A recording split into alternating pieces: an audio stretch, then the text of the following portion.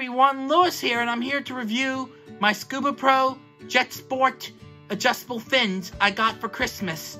Special shout out to my friend Jessy Fredlund for suggesting these fins to me since she also has these fins too, and I was in search for adjustable fins of my own for the diving I'm doing in 2020.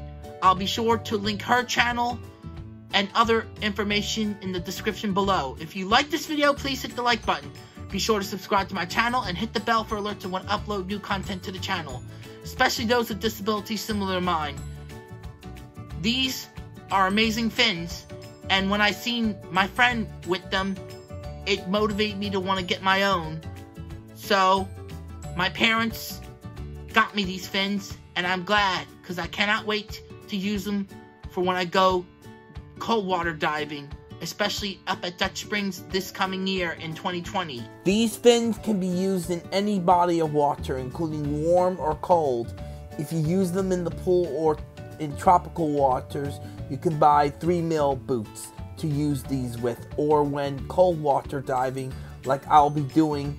They can also be used with boots like the Delta 5 mil that I reviewed in the previous video. As you see here, the fins go great with the boots. They are comfortable and great. I can't wait to go diving with these fins.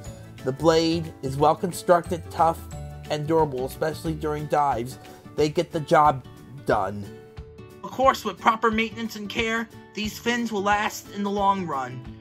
And you also have to replace the straps in the back in case they get damaged, which of course they can be found online through Scubapro or any other retailer that carry these replacement straps.